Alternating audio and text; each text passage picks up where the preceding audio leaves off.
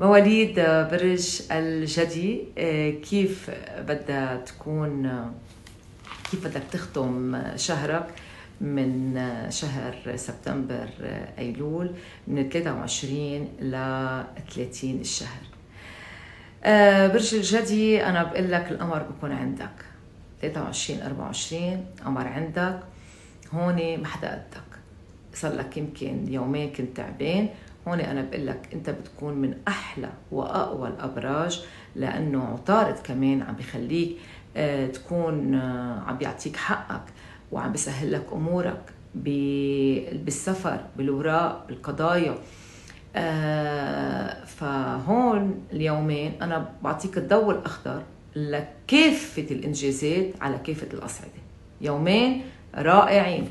قوي قلبك وهجوم. ما تخاف من شيء من بعدها الأمور بتصير ماليه بحت تنين وثلاثه وكأنه بدك تحل أمر عالي أو كأنه بدك تسد ديون وكأنه بدك تدفع بدك تشيل بدك تحط هول الأمور كلها بتطالك مولود برج الجدي. فبتدفع مصاري ولكن عندك مكاسب مالية من أعمال إضافية والبعض يمكن يسمع بخبر ناطره وظيفه أو شيء بخص مشروع جديد. هول الأمور بتطالكم الأمور بدها تصير بعد أحلى يعني بدك تختم شهرك بطريقة حلوة. وقت القمر بينتقل لبرج الحوت 27 و 28 بترتفع شعبيتك أكثر واجتماعيتك بتزيد.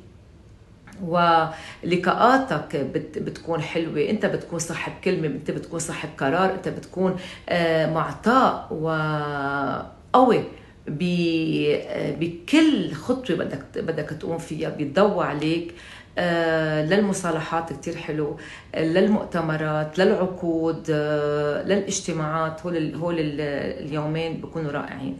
من بعدها القمر جمعة وسبت وكأنه بيقول لك القمر ببرج الحمل استكين عود وارتاح لأنه آه، بيطلع لك ترتاح مولود برج الشديد من كثر التعب والركض والشغل اللي اشتغلته. بصير بدك تقعد ببيتك تهتم بعائلتك تهتم باولادك تهتم بالزوجة تهتم بالأم بالبي.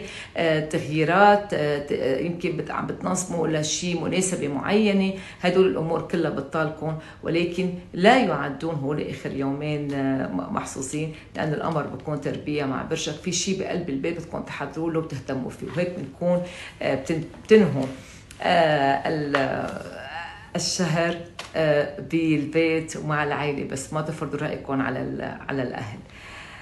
وبشوفكم الشهر المقبل.